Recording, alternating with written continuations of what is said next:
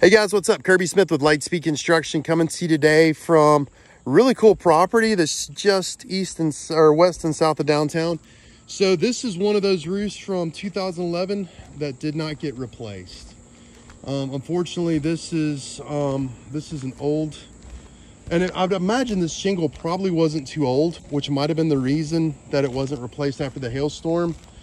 But and and maybe the hail here wasn't quite all that big, but you know, overall, this roof is in not fair to poor. This roof is in very poor condition.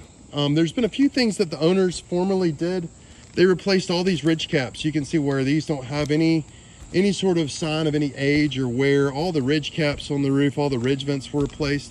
But when you come out here and look at the field, this is just, that is just an old shingle. Um, that's 90% granular loss, 9-0 meaning that like the roof is just about failed. And you know 10 to 15 year old roof with fairly noteworthy style hail damage right? I'm trying to see if there's any other evidence of the hail that fell out in this area.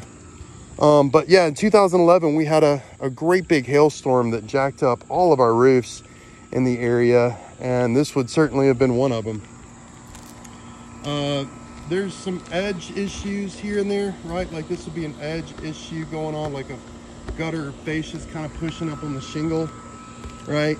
Uh, but overall, 90% granular loss over the entire roof. You know, just just kind of this phenomenon going on um, with change ridge caps. You know, that that was what was done. And you know, you got places like this where maybe a bigger hailstone hit and this is kind of showing that not kind of that's exactly showing um, the fiberglass mat of the shingle meaning that all the tar is gone all the granulars are gone everything.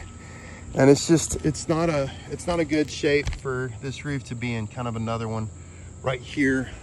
And this is a former customer of ours. We've done repairs on this roof in the past but this is my first time taking a look at it. Um anyway, this would be something for our owners to consider replacing. It would be a, a pretty easy suggestion for this to be a warranted need of replacement. So anyways, guys, um, again, my name is Kirby, K-I-R-B-Y Smith. I appreciate you guys watching this. It's been a long day. I've been fixing roofs all day. I'm definitely going to clock out here, but try and get this roof leak to stop before I do so. And y'all have a good one. Catch you later. Bye-bye.